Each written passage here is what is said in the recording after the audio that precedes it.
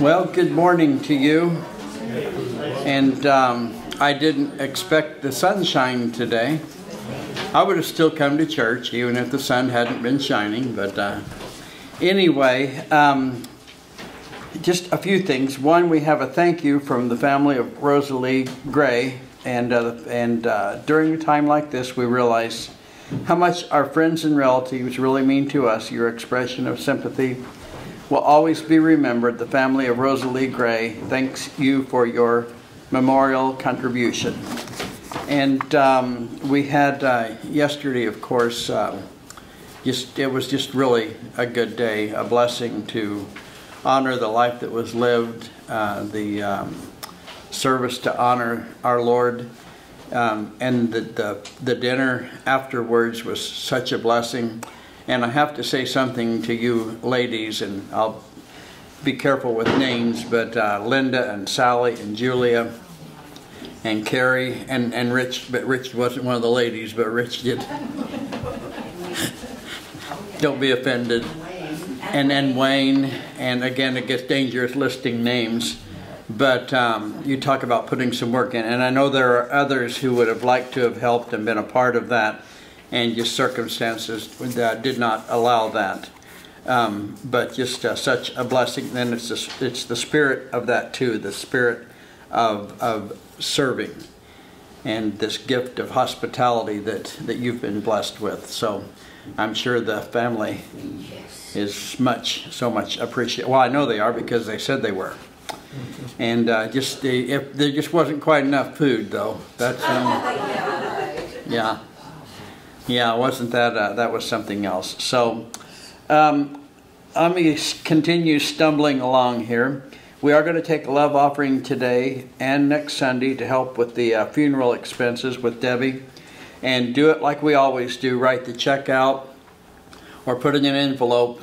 Uh, but if you write a check to Faith Fellowship and then in the memo line, Debbie Turk Funeral or, or whatever uh, you can, so it can be designated that way. It makes it uh, better for for Connie. And uh, we had it in the bulletin last week, but we'll again announce uh, our happiness that we are now regularly supporting Bible Tracts Inc. Uh, April 3rd, men's study. You know, a week from Friday is Good Friday. Two weeks from today is Easter. It doesn't seem like that. But Good Friday service at 6 p.m. Our Easter, our Resurrection Day service will be at our normal worship time. We will not have an evening service that day.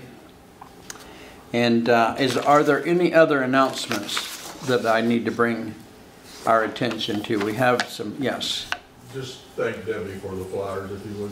Yes, yes. Thank thank Debbie for the flowers. and they, don't, they look this looks great up there, does don't they?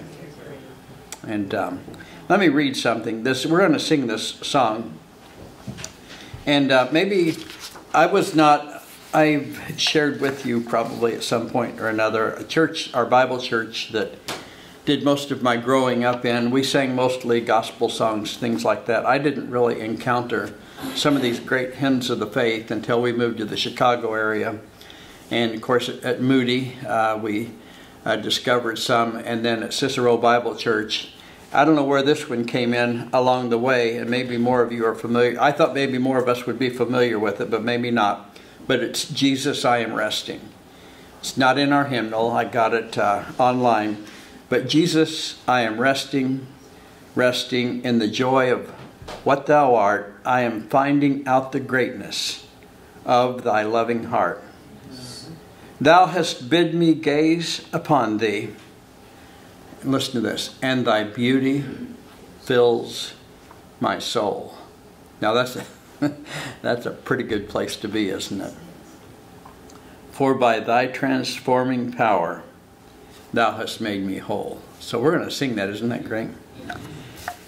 Prayer requests, and there's a couple, let me just blurt them out. Uh, Debbie Dixon has been struggling with um, help me carry the sinus infection, right? Yes. Yeah.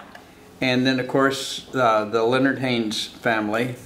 I want to keep them in our prayers. If you haven't gotten the email um, or a text, that uh, Leonard is now on, on hospice. And um, keep, of course, Debbie and family in our prayers. Um, other prayer requests this morning, yes. Connie Bricker. Yes, thank you. Keep Connie Bricker. Uh, she's got heart concerns, and I want to keep her in our prayers. Yes. John's boys and their family and his brother and their family. Joe and his family's headed to Minnesota this morning. Okay. DJ and his family and Steve and his wife are headed to Florida. Okay. So if we could pray for travel. Keep them, yes. Um, Our cousin has a great granddaughter, she's one year old. She was born with a heart artery on the wrong side and uh, hip dysplasia, and she had to have heart surgery in Iowa City. And how old is she again? One year old, Okay. yeah. But last, what we were told yesterday is that they moved her out of intensive care and into a regular room. Okay. So please pray for her. Okay. Yes, Randy. Tomorrow, I uh, take Kelly down to St. Louis to have uh, MRI on her brain, see if we can find it. And uh, she's gotta have CAT scans. I might resemble that remark if you said that about me. She loves me, and I don't blame her. Yep. But anyway, we're taking her down there tomorrow, so we'll be gone most of the day. Yeah. Uh, And Friday, I go back for, uh, it's not chemo, it's uh, build up my immune system with an IV. Okay. Okay. So, Yes. Randy, I mean, Steve, Yeah, Steve. that's mine too. Steve and Jeff. Keep- Yep. Definitely. Okay. Well, you pray with me for the things I probably won't think to mention right now, but help me out. Lord, we just ask you to um, draw us before yourself right now and just um, all the distractions and uh, some of them good distractions and busyness this week. But uh, right now, it's time to worship you. And we're just very pleased to be here, that you've done this work in our hearts and minds, that we can come before you, humble ourselves before you, confess any sin that might be uh, coming between us, and uh, allowing you to forgive that sin and to cleanse us from all unrighteousness, is to be together as the saints of God. And now we do, as the saints of God, as brothers and sisters in Christ, we can boldly approach the throne of grace because what you, Lord Jesus, have accomplished in our behalf. So we do lift all the travelers, uh, uh, BJ and, and Steve and families, and uh, Randy traveling tomorrow with this little uh, one year old baby uh, recovering from heart surgery for uh, Jennifer Haynes and family, and for, for Leonard, uh, Lord, that you, Holy Spirit, can, can speak the peace of Christ to him, even at this time. We lift Steve and Janet before you and um, this uh, challenge that's before them. Lord, how good it is to know how much you care for us, how knowing you are, how powerful you are. Your love, your mercy, your grace extends for us, extends beyond the heavens. You, your care for us is really beyond our knowledge, but we're filled with it, just as this song. And I think of the song also, Lord, that all that thrills my soul is Jesus. So we lift these concerns before you and and others that would be on our hearts and minds and uh, ask you to just draw our attention to yourself now. In Jesus' name, amen. On your song, we'll sing a verse and then here's the chorus. A verse and then here's the chorus. It says DC, that is the chorus. You'll, you'll love this song, I really do hope. It's great. Jesus, I am resting. The handout is in your bosom. yes,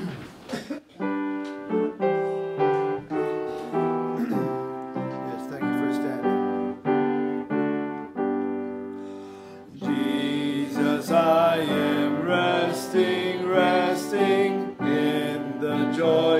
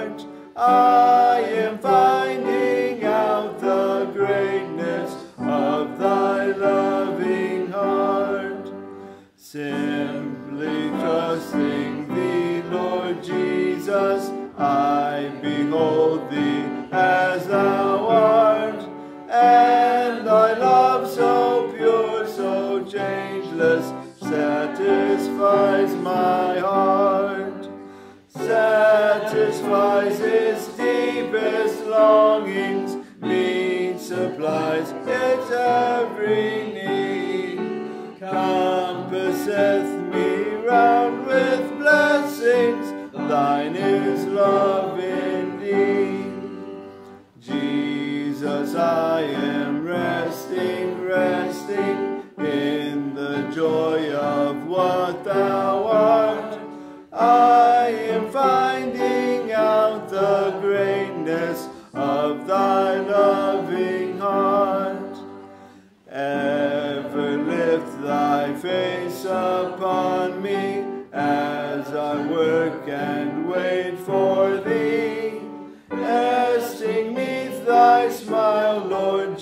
Jesus, earth's dark shadows flee. Brightness of my Father's glory, sunshine of my Father's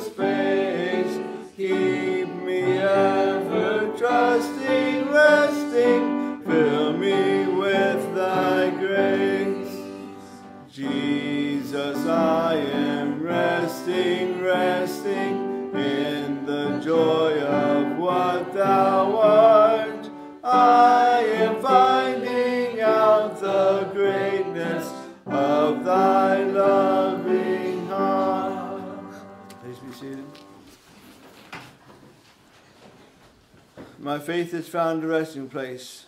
We will sing all four verses. We will not repeat the chorus at the end.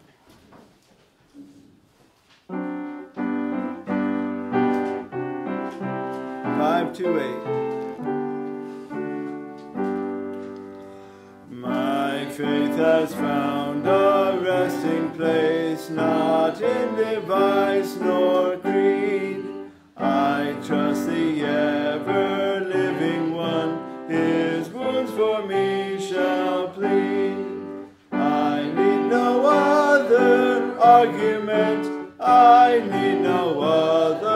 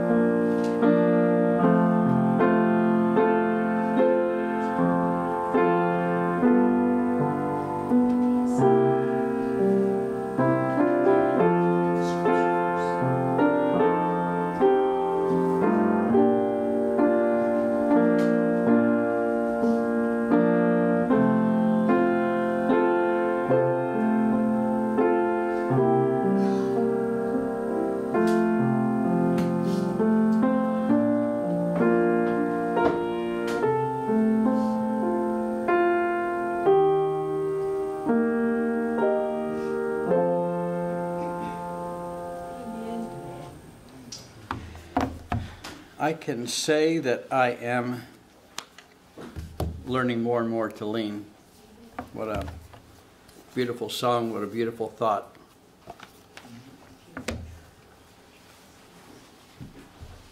Let's pray again. Help us, mighty one, to to know who you are more completely and more fully, to um, as you tell us to lean on you, to trust in the Lord with all our hearts, to not lean on ourselves or our own understanding, but to trust you fully with life.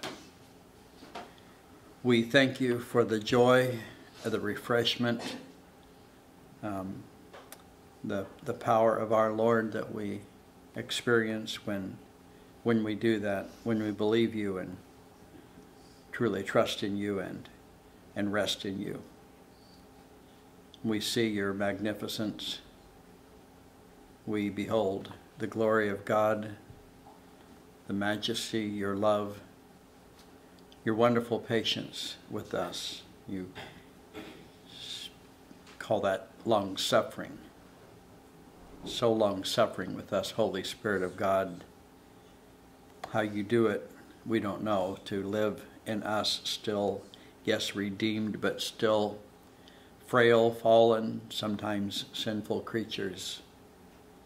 But again, this is your love, your power, your plan, your purpose that you will not only carry out to perfection but for our good and to your glory. How we thank you for your word of truth. How we thank you for Scripture.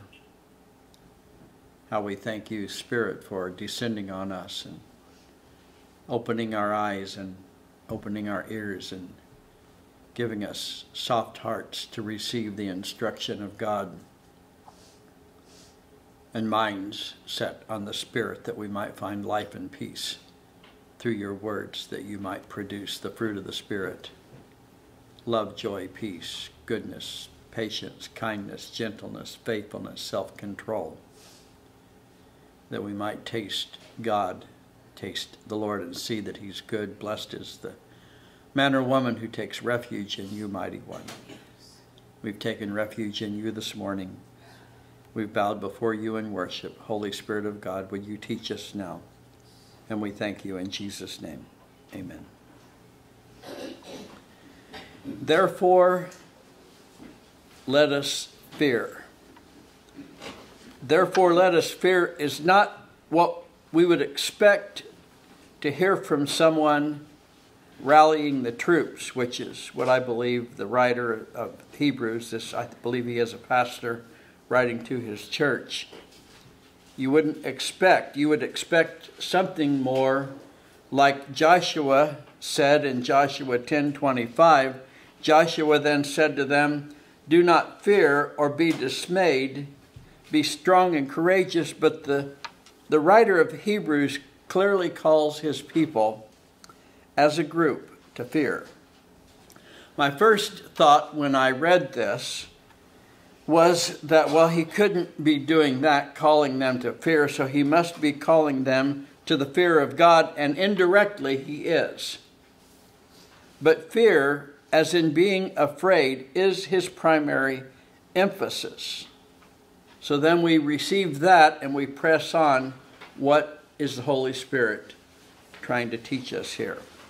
The big question is when we look at the phrase, therefore let us fear, the big question is why? And he reveals that as he continues in the verse. Hebrews 4 1 Therefore let us fear, lest while a promise remains of entering his rest, any one of you may seem to have fallen short of it.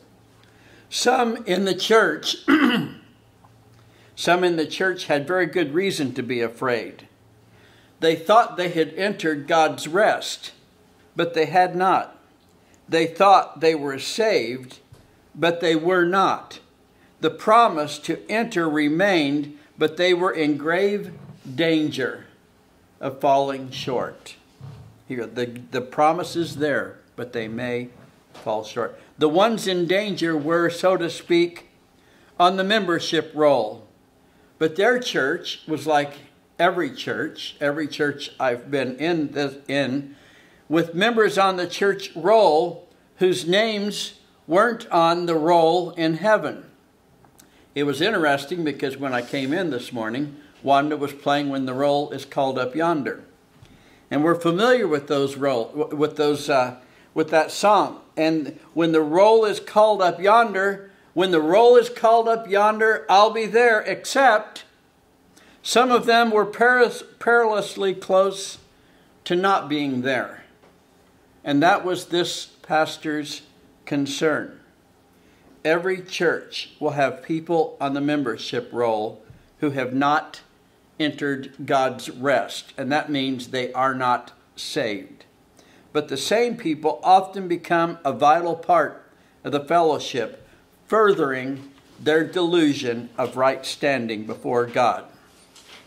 So, enter stage right, the writer of Hebrews, a true shepherd of God, to rally the body, the church fellowship to come together to confront the problem. So he writes, Therefore, let us, let this group, let us fear. And what he's saying is, we will come alongside you and help you fear what you need to fear. That is a wonderful expression of love. And so far as it depends on us, we will bring you face to face with the reality of the threat to your eternal destiny. And that threat is this. And it's a clear and present danger. It was then and it is now that some of you think you are saved and you are not. You think you have entered God's rest, but God swears, and He does this multiple times, it's quoted in Hebrews God swears that you will not enter His rest because of your unbelief and disobedience. So we, the body of Christ, so far as it depends on us, we are going to see to it that no one in our fellowship comes up short of heaven. Hebrews 3:12, we've looked at this. See to it, brothers. As much, and we looked at it then, so far as it depends on us, see to it, brothers, that there not be in any one of you an evil, unbelieving heart that falls away from the living God. And then, Lord willing, and by the mercy of God, we will, so far as it depends on us, snatch some of you from the fires of hell. You remember uh, Tip praying? And it was pretty close to this. Thank you, Lord. He would just, just somewhere in that prayer you would hear fairly often, Thank you, Lord, for saving me from the fires of hell. I don't know if he got it from this Jude text or not. But Jude writes in Jude 22 and on some who are doubting, have mercy. See, it's a mercy mission also. And for others, save. Again, this is humans, not we can't save, but as much as it depends on us in obeying God, it's rescuing the perishing, but the perishing are in our midst in our church. We don't pretend otherwise so we don't hurt someone's feelings because it's a real and present danger. It's a threat to their eternal destiny. And he says, for others, save, snatching them out of the fire.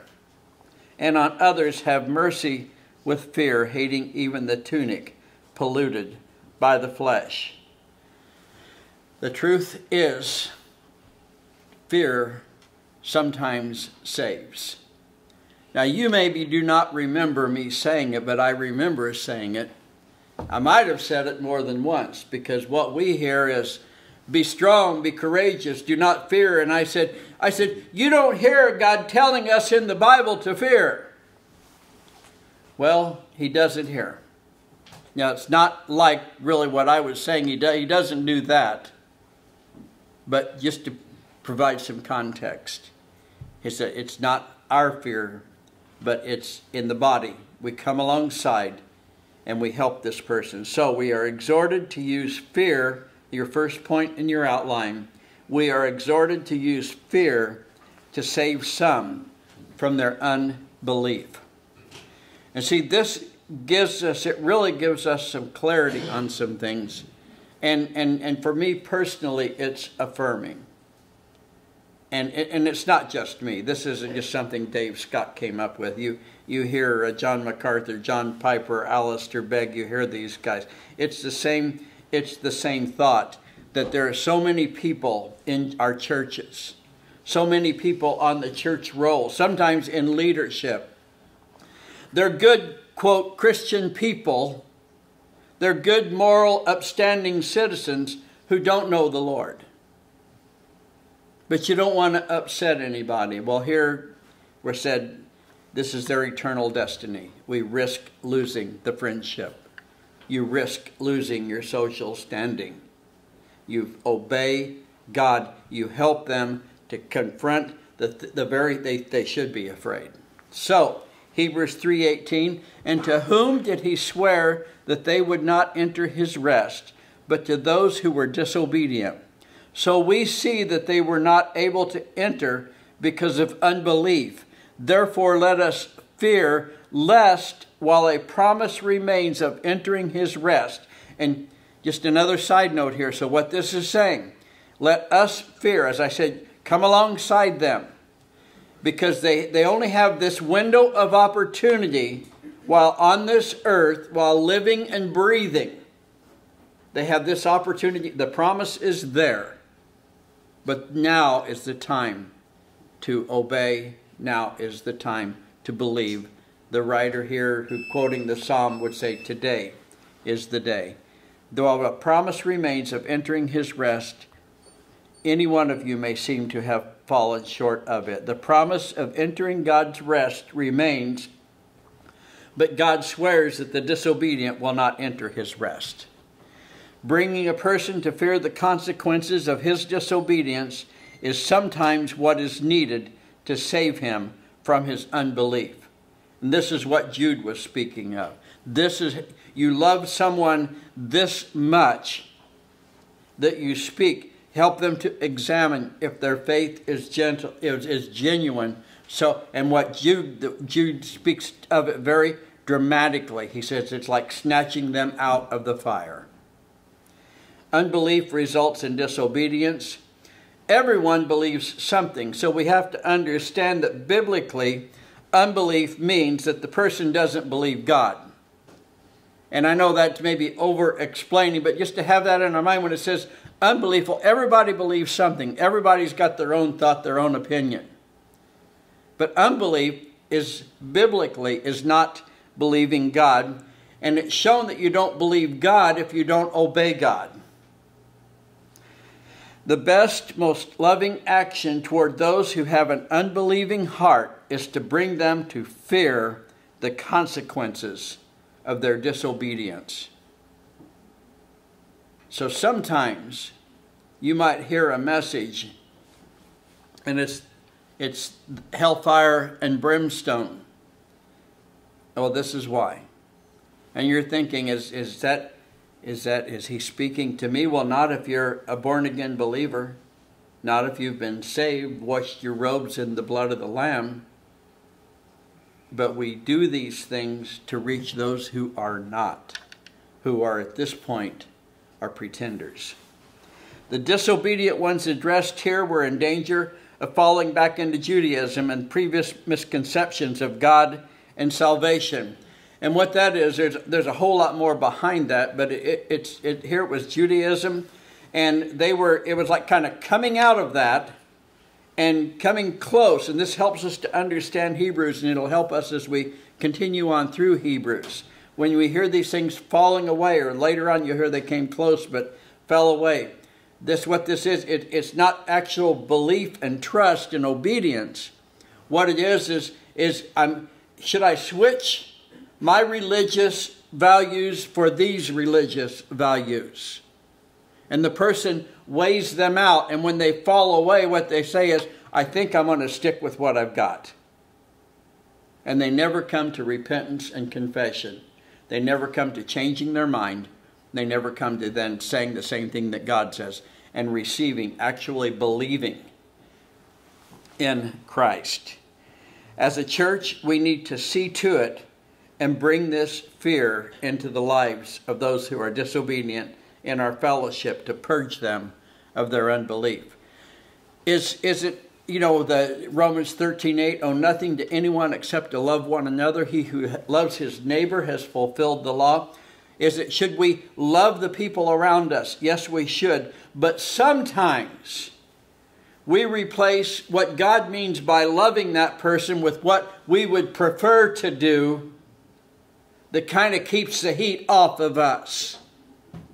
Sometimes you when you love that person, to them it appears like you're upset with them. And you have to bear that burden in the name of love, in the name of mercy, in the name of carrying a true gospel because you're interested in snatching them from the fires of hell. In other words, when you love as God calls us to love, very often that will be misunderstood. Just take it, the simple presentation of the gospel and getting someone to face the fact that they're a sinner under the wrath of God. And people would say, that is just so negative, that is not positive. And we, we need to affirm this person. After all, in our situation here, they're in church. In church doesn't mean you're saved, though, does it? You guys know that. You know that. So, we need to see to it. Hebrews 3:12 again I read it earlier but you can mark that down. See to it brothers and we could say and sisters. And it's it's what I shared a week or two ago. So far as it depends on you. I took that from the Romans 12 17 I think it was. That there not be in any one of you an evil unbelieving heart. In other words, we look out for each other. In any fellowship and this is what I believe that the writer of Hebrews he knows his church he knows there are saved people and he knows there are uh, people who are not saved but think they are or they're really confused. And so, but what he, what I believe the message here is, but you know what? You're part of my group. So I'm going to do everything I can. I'm going to do everything. And this man had a pastor's heart. He was going to reach Every he did, he's not he, everybody in the group everybody in the group that came out on the Lord's day or what, however he was associated with them. His intent was to confront them. Are you right in right standing before the Lord God the Almighty? So fear may be used for good as a powerful weapon to free the captive mind of the unsaved by turning their thoughts to God and that's the, the, the unsaved, their mind is a slave. By default, humans demand the right to exercise free will in choosing what they believe to be right and wrong, good and evil. We know that begins in Genesis 3, doesn't it? But the freedom they think they have is in reality an enslaved mind that is set on self and it ends in death. And so every act of what they would call love or any good deed, it, it first it, they're considering themselves, Romans 8 6. For the mind set on the flesh is death. That's on, on me, on my humanity. But the mind set on the spirit is life and peace. So if we could open up our brain and we could see the setting, what is your mind set on? Is it set on the flesh or is it set on the spirit? Romans 6 16. Do you not know that when you go on presenting yourselves to someone as slaves for obedience, you are slaves of the one whom you obey, either of sin leading to death or of obedience leading to righteousness? Now, you can obey or seemingly obey and not truly be saved, but obey, obedience is a fruit of salvation. Fear, when used as intended in this text, is, I believe, the the writer of Hebrews intends it may be enough to save some and change the direction of the person's mind from death to life and peace. Where is your what direction is your what is the setting of your mind? Helping someone to fear as directed in this text may save them from their foolishness. And we see 1 Corinthians 1:18 for the word of the cross is foolishness to those who are perishing. And you're familiar with the song, Rescue the Perishing. This is how you rescue the perishing. You help them to see their mind is set in the wrong direction. this person's mind is set on the flesh. They're enslaved to that and to this world, and the gospel comes to them. What could save them and bring all the spiritual blessings in the heavenlies in Christ to their life? What could have them live forever in the glory with, with God in His glory?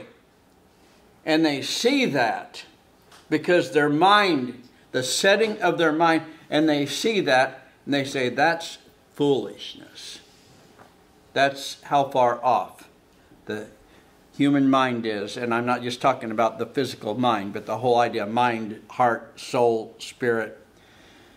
It says, foolishness to those who are perishing, but listen to the ones who have their mind set on the spirit. But to us who are being saved, it is the power of God. Second main point this morning the good news of the promise to enter God's rest remains, but only those who hear it with faith will profit from the good news. So, what he's going to say basically, the, the promise is given, and there's two groups of people. They both hear it, but only one hears it with faith. And that means only one hears it and believes. Hebrews 4 2 For indeed we have had good news proclaimed to us, just as they also. But the word that was heard did not profit those who were not united with faith among those who heard. A person only profits from the good news when he hears with faith. And we hear the same concept in Galatians 3 2 from Paul. This is the only thing I want to learn from you. Did you receive the Spirit by the works of the law or by hearing with faith? You're hearing and believing. Galatians 3 5. So then, does he who provides you with the Spirit and works miracles among you do it by the works of the law or by hearing with faith? To hear with faith means we hear and believe. God could not make it any more clear that the one who does not believe him will not enter his rest. It really it's it's kind of stunning how many times he repeats this and it's to Hebrews 3:11. As I mean it can't get any more clear, more more clearly defined, more more bold, more out front as I swore in my wrath they shall not enter my rest. And that's saying they will not be saved. There is therefore now no condemnation for those who are in Christ Jesus. Uh, we, we justified in Christ, we have peace with God. That's uh, this whole thing, it's salvation. He said, I swear in my wrath. And God really does say it's my way or the highway. It really, Christ said, I am the way, the truth, and the life you know, we, we say that so quickly, but it's, and, and no one comes to the Father except by me. And if you want to hear the Father, he just told you, I swear in my wrath, no one comes to me except for through my Son. Fear, when used as intended in this text, may also bring the person into the presence of God where he or she can hear what is necessary to enter God's rest. And what I mean by that is, is this the fear that we, we bring them to, we come alongside, we bring them to this fear, we help them to see the perilous condition they're in, and that brings them into the presence of God, gives them an opportunity then to change their mind, to repent, to change their mind from me believing what I believe to believing what God believes. And when fear has done its saving work, and this is important, to see this. There's because there's a fruit that comes from the work of God. Because we sometimes have, and again, it's for our own selfish interests that someone we we maybe lead someone to the Lord, but that no fruit ever is appears from that. Sometimes it's a relative. But for our sake, because we don't want to have that on our mind, we want to believe that this person is saved. so we ignore what's before us. But when God saves someone, he, he saves someone. What does it say? We're a new creature. We're transformed by the renewing of our mind. Something happens. You went from being dead in sin to alive in Christ. Something happened. So you see fruit. Maybe not, maybe more in some than others, but you will see something. So here, when fear has done its saving work, the person changes his mind and forsakes his way and thoughts for God's way and thoughts. And I got this from Isaiah 55 Let the wicked forsake his way, and the unrighteous man his thoughts. This is striving to enter through the narrow door or the narrow gate. This is striving then that this person is, is going to come here and say, I can continue to believe what I believe, or I can believe what I think God is telling me. Some them would fall away. They would continue to believe the, the, the wicked the, the, the wicked his way. Hang on, stay with that, stay with his thoughts. And so the battle then is to believe what God says.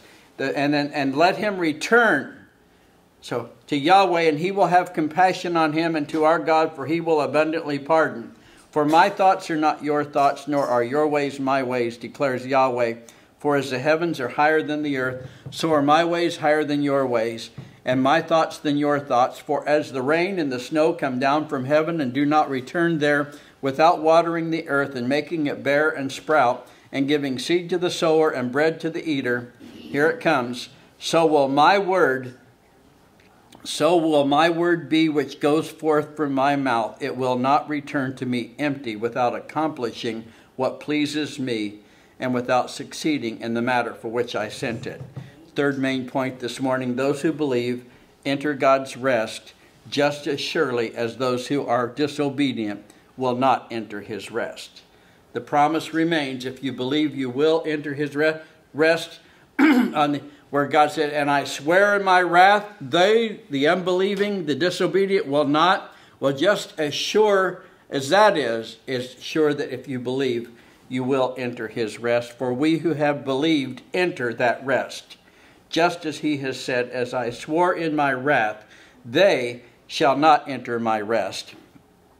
Although his works were finished from the foundation of the world, for he has spoken somewhere in this way, and it's interesting because um, some of these things that you don't think of, a couple of things. We had this a few weeks ago, and it referred to Psalm 8. And it said, you know, you know, somewhere it was spoken of this, and it's referring to Scripture. Well, we know it is Psalm 8. And here uh, we would know it in, in Genesis 1. But whoever I was listening to at the time, they said it wasn't designated Genesis 1 at that time. It was God's Word, all the, the, the book titles and the chapters and the verses. But it, what it's saying is, For he has spoken somewhere in this way concerning the seventh day, and God rested on the seventh day from all his works. And again in this passage, they shall not enter my rest. God just won't let go of it. it's like, have we said it enough times? They're not going to enter my rest. Now, why does God keep doing that? because we're slow to pick it up. If you don't believe, if you don't repent and change your mind and believe what God says, confess what God says, if you don't believe in Christ for the forgiveness of sins, you'll not enter his rest. You will not, the roll will be called up yonder, you will not be there. God swears in his wrath. And he just keeps repeating it. They shall not enter my rest. Therefore, since it remains for some to enter it, and those who formerly had good news proclaimed to them failed to enter because of disobedience. he again determines a certain day. He's saying, okay, they haven't got the message yet, but it's today. And this is another thing that's repeated. He gets, today's the day. Is it today? Then it's time to believe.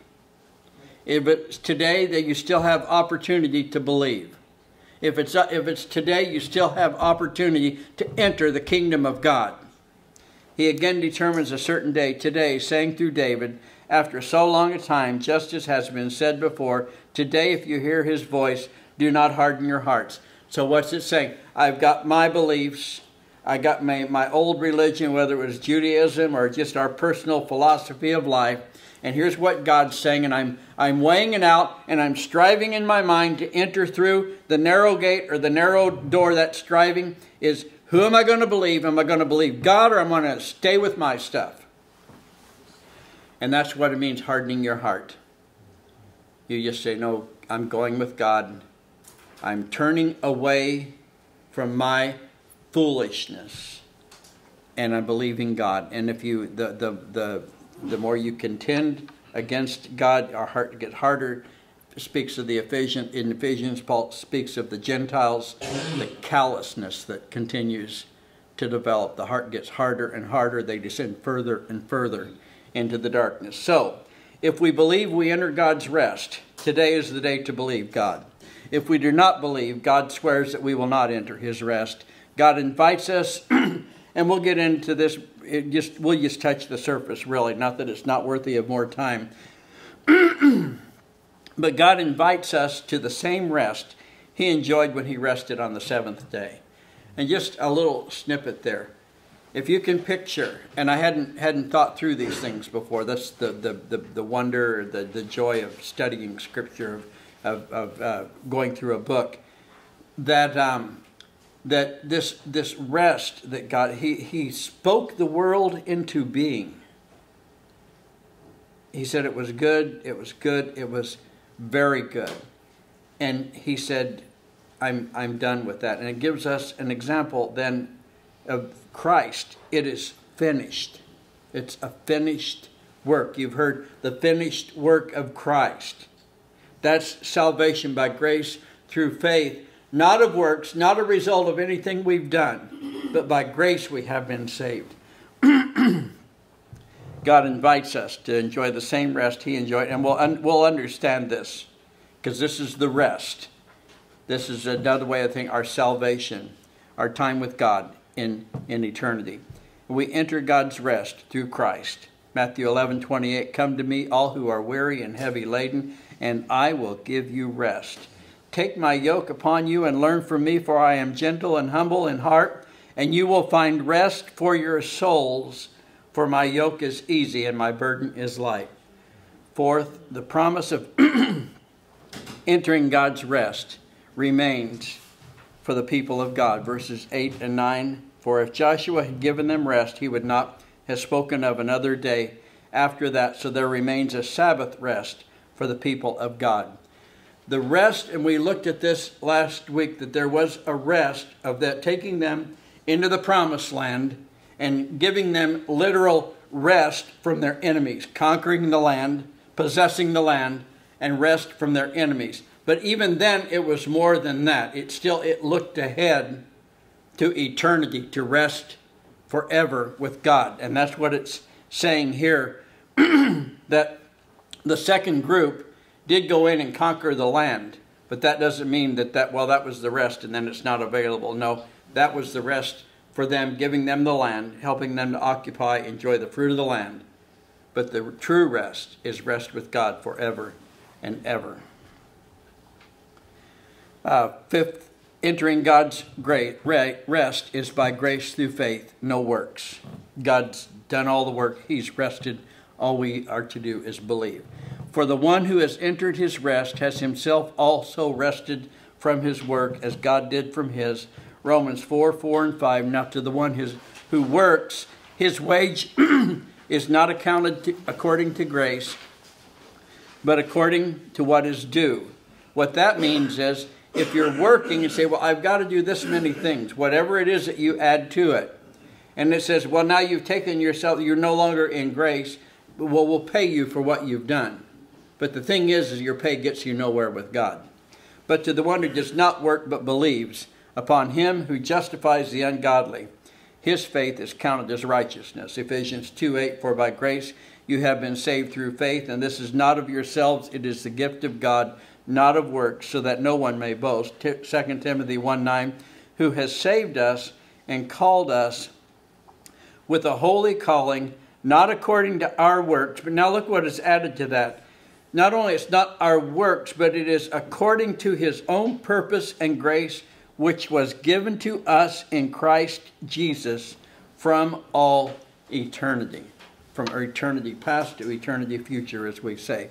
Titus 3 5, He saved us not by works which we did in righteousness, but according to His mercy. Six, to be diligent to enter God's rest is to strive to believe God above everything else. This, as I've already expressed, is a battle for the mind. Hebrews 4:11 Therefore, let us be diligent to enter that rest, lest anyone fall into the same example of disobedience. The diligence here is not working for our salvation, but striving in our heart and soul to believe God and find rest in Him. I'll let you read. You've got the Jeremiah 6 16. You'll find rest for your souls, but they said, We will not walk in it. Next, the person who is not diligent in this way ultimately fails in three ways. So the diligence here is striving back again. Here's what I believe. Here's what God says I should believe. The person who is diligent to enter God's rest will strive to believe and will come and the one who enters God's rest will come to that point of belief. The person who does not is not diligent in this way. He loses the battle for his mind. The setting is never changed in his mind from death to life and peace. The setting is never changed in his mind from the flesh to the spirit. He loses the battle for his mind. He never comes to believe God. He falls further into disobedience, resulting in belief in a, in a false gospel. Entering God's rest in Hebrews is the same concept Jesus speaks of as entering the way that leads to life, salvation through the narrow door and the narrow gate. Luke 13, 23, and someone said to him, Are there just a few who are being saved? They say that in response to what Christ was teaching them. It's like, it doesn't sound like there's very many going. And he said to them, Strive, don't worry about that. You strive to enter through the narrow door. And again, the striving there is not working to do it's it's it's striving to believe God. That's where the battle in the mind. For many, I tell you, will seek to enter and will not be able. Matthew 7 13, same idea, a little different. Enter through the narrow gate, for the gate is wide and the way is broad that leads to destruction, and there are many who enter through it. For the gate is narrow and the way is constricted that leads to life, and there are few who find it. And what we do is we, we some of these things are hard to understand but what you do is you don't, we accept what God says. That's what I'm trying to say. We accept what God says. And so I want to make some observations. And um, really, if I had had more time, I would, I would I, I, think I think this is going to yield some more things. But I want to make some observations in conclusion and then some deductions from those. But I want us to see, as we go through this, how relevant this is to the gospel and and and the light that it sheds on people's approach to uh, coming to to formulate a gospel to to share the gospel to believe the gospel so observations some observations concerning entering the door or gate of salvation and i say that because it says there that the um, the uh, where is it are there just a few saved? Strive to enter. Da, da, da, well, anyway, I'm losing my place, so maybe I'll. Oh, the way is constricted that leads to life. That's where I was going. Okay, some observations. The person is to strive to enter. Okay, so we can just that. Okay, whatever you want to call it, we see that they're to strive to enter. Many will not be able will, not be able to enter the door that leads to life. Another observation many will enter the wide gate that leads to destruction. The many who enter through the wide gate are satisfied with entering a way that promises life without examining where it leads. Now, that was a little bit observation and deduction. But the point there being is there was a gate and it's promised the way of life, but that way ends in destruction. And apparently, they weren't concerned about that. And as we looked at yesterday in Ecclesiastes, to live well now, you need to have the end in mind. We are commanded, and this is important, we are commanded to enter a certain gate, the narrow gate. The narrow gate opens to the way that leads to life. Few, and Jesus said, He's the gate, didn't He? Few even find the gate that opens to the way that leads to life. Now that's very important, that few even find the gate. If I could jump ahead on my observations then. So, is the gospel then in some way the gate that, that leads to life, that brings you to life? So, if you think then that here it says, few even find the gate, What is that telling us? That few find the true gospel. Do we see how relevant this is? We, you know, and well, let me just go to I'm let me just go to deductions. Some deductions from the previous observations. Striving to enter seems to fit very well with the admonition in Hebrews to pay much closer attention. Hebrews 2:1 For this reason we must pay much closer attention to what we have heard lest we drift away. So, what I was saying then, back to the number seven on the observations, few even find the gate that opens to the way that leads to life. We need to pay much closer attention, or you won't find the gospel. You can, you can just be satisfied with someone giving you a promise of something. Or we can say, no, I want, because what did we learn today? God says, I swear in my wrath, they, the unbelieving and the disobedient, will not enter my rest. There's incentive to pay much closer attention to find the, the gospel we're believing and the gospel we're sharing to be the good news of God, that the person will not hear that, that God, they will be welcomed into the kingdom. So, Second, many people who seek salvation and the way that leads to life do not strive for the truth, but are easily satisfied with a promise of life. Now, think how relevant that is with some of the stuff we hear. And not just nowadays, it's been like this from the beginning. People are offered a gospel. It kind of sounds like what God says. In fact, they may even use some of the same words And by the way, I can pretty much keep living as I'm living and punch my ticket to heaven with that gospel. But they never give serious consideration to the end of the road. Next, we should strive to believe and share a gospel that saves. Well, see, that's well, should we, we shouldn't even have to say that, should we? But if we look at this, where what Christ is trying to bring their attention to, what the writer of Hebrews tries to bring our attention to, we need to pay much closer attention. We got to pay much closer attention, so we're offering a gospel that actually saves them from their sins and brings to them the gift of eternal life. Second Corinthians, and not one that merely accommodates. Second Corinthians, for we are not like many peddling the word of God, but as from sin. Now listen to these. But as from, well, I might have these underlined in your notes too. So, four here. But as from sincerity, but as from God, in the sight of God, we speak in Christ. You know what? Paul's showing there, he's showing that he's paying much closer attention to what he's heard. And then, fourth, there's one gospel that saves. There's a lot of gospels out there. Some of them are so close. We looked when we were in Galatians. It was that close to the gospel. And Paul wrote in Galatians 1 8 and 9, but if you believe that gospel, you were accursed. See, our, our perspective has to be eternity, folks.